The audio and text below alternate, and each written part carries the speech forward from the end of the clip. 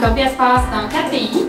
Something we need to do and it's part of our values, part of our culture. I feel really good about it. Poder eh, ayudar a la comunidad realmente me hace sentir muy feliz.